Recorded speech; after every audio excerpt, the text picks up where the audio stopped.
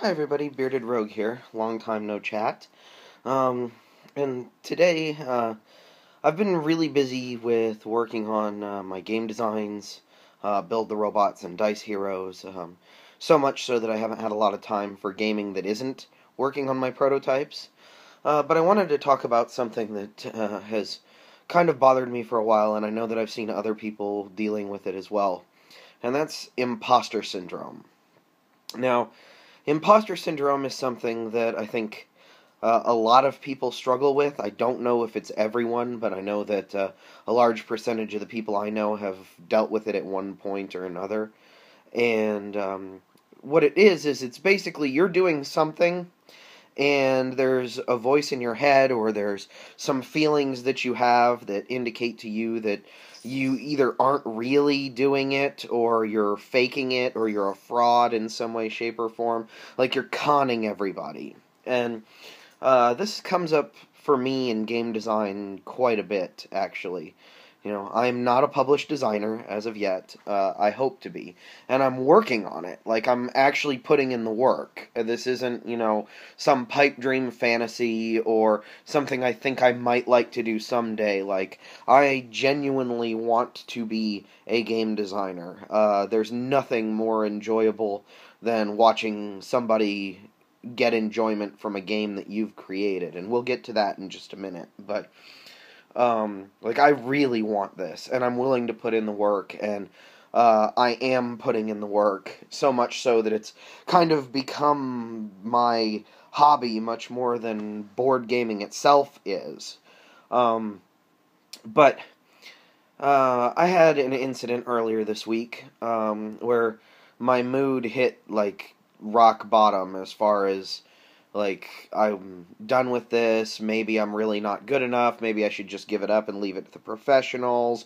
All this negative self-talk in my head um, was going off back and forth, and um, it it was triggered by an incident uh, involving sell sheets. I personally hate sell sheets. I am not a graphic designer. I am not a marketing person. Uh, I am quite able to explain my games, pitch my games, and in a one on one environment or talking to somebody or even on video, I feel that carries really well. Um, I'm really passionate about this, and that matters to people. Uh, but a sell sheet is such an impersonal thing. Um, it's such a like I don't know. It, it's just kind of for me, somebody who's not experienced in marketing or advertising or any of the other uh, skills that a sell sheet needs. Really, uh, that producing a sell sheet needs. Um, it's painful for me to create them actually because I start struggling with you know well what makes my game special what you know, how do I highlight it? Like, I know it's fun. I've seen people play it. People have asked me to play it and enjoyed it. So, obviously, on some level, it's fun, but how do I convey that in a static document that has absolutely no emotion or, um, or anything attached to it?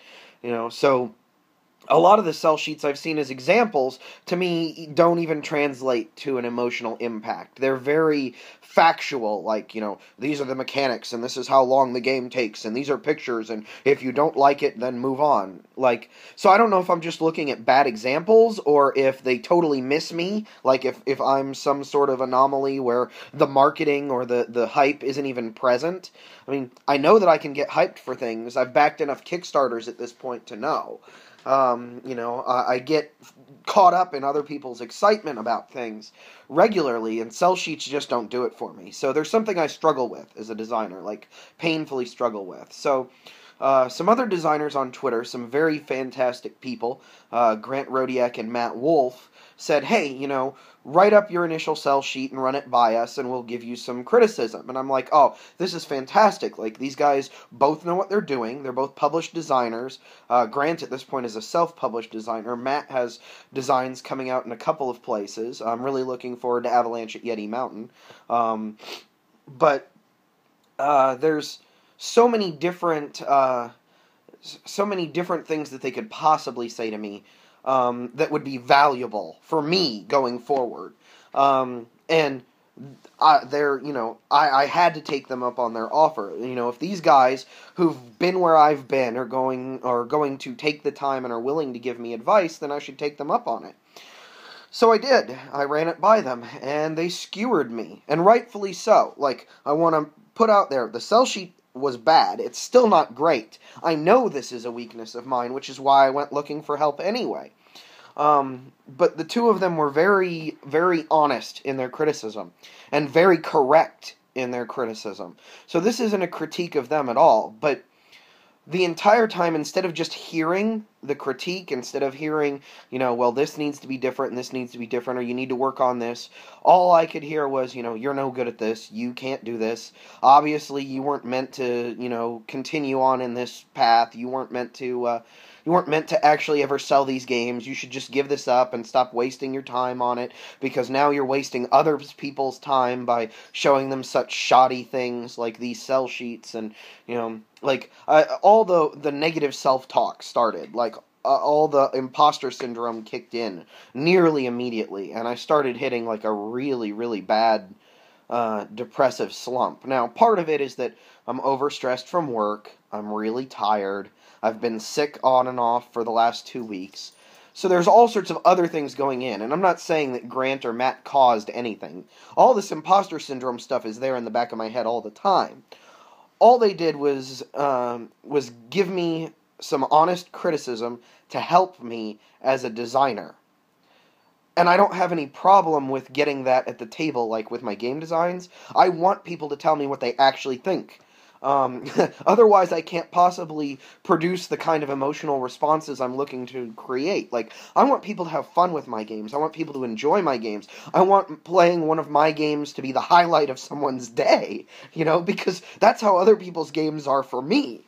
So that's what I'm really looking for. And this is no different. Like, sell sheets are just another part of the process, and I'm gonna have to get good at it eventually. Like, I'm gonna have to figure it out or find some way that I can end around sell sheets as part of my process. Like, I'm either gonna have to figure out how to do videos, or I'm gonna have to figure out which publishers don't require sell sheets, and, um, or, you know, look at other alternatives. Maybe I'll find somebody to do my sell sheets for me if it's something that I just can never pick up.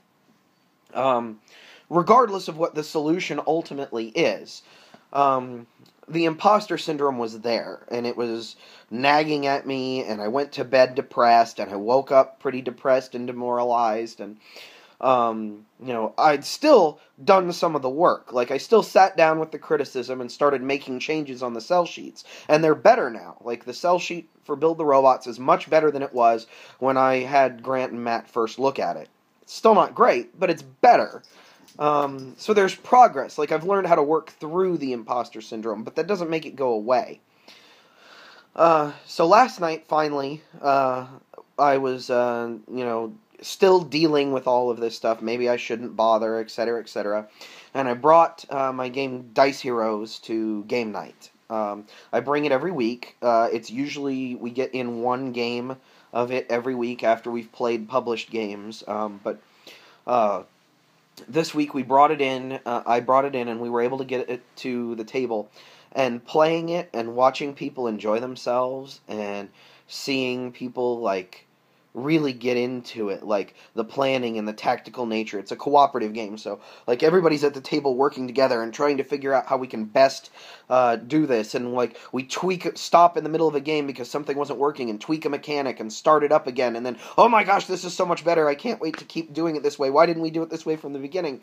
And just all those little aha moments and eurekas, and like everybody enjoying it, and suddenly like bam, I was like super reinvigorated. I am so ready to like jump back into those sell sheets, even if it is the most depressing thing in the world to me that uh, that I can't seem to do them very well. Um, but that's really imposter syndrome is something that that a lot of people have to deal with, whether it's in their personal life or their job or in my case in game design. Um, and I find that the best thing for me Number one is it usually strikes when I'm already stressed about something else. Like, I very rarely get my imposter syndrome moments, you know, when everything is going right but this one thing. It's only when I start to get a little overwhelmed that I start to to feel that. And the other thing is now um, I'm making a little bit of a proclamation here, but now anytime I start feeling those imposter syndrome uh, type issues, uh, I'm going to schedule some time to play my games with people or to ha- to watch people play my games or to you know just in general interact with other people around my games instead of sitting in my head. Um, I absolutely uh, absolutely love designing games. Uh, I love the process. I love the people involved and I love uh, the way people interact with things that I've designed, uh, seeing them figure out things that I didn't, or uh, seeing them just like, wow, that was really clever, you figured that out and I wouldn't have thought of it. Um, just in general, really great stuff. Um, so, imposter syndrome isn't going to beat me. And I'm just kind of putting this out there because I don't want it to beat anyone else either. Um, if you are designing games, you are a game designer regardless of how published you are or aren't, uh, regardless of what the majority of people think of your designs. If you are creating games and other people are playing them, you are a game designer. Um, that's all that really needs to be said. Now, all of the other stuff being published or being acclaimed or having people recognize your skill as a game designer, that'll come in time. Um, but don't ever uh, think that you're not a game designer just because you aren't putting stuff on shelves yet. Um, anyway, that's kind of all I wanted to say. I'm sure this is a little rambly, but um, I want to again give another shout out to Grant and Matt who gave me some fantastic advice. Um, I'm still working on the sell sheets, guys, and I hope the next ones that I run by you aren't uh, steaming piles um, and that uh, I can show you guys that I'm actually learning from the time that you're sharing with me and the advice that you're giving to me. Um, and uh, just thank you to everyone else uh, who chimed in when I wasn't feeling myself. Uh, and thank you to everyone who played my game with me last night and talked to me about my game last night because it totally changed the way this week was going for me. And I feel so much better right now and am so happy uh, to continue to be involved in this wonderful hobby and with all of the wonderful people in it. Anyway, that's enough for now. Uh, Bearded Rogue, signing out.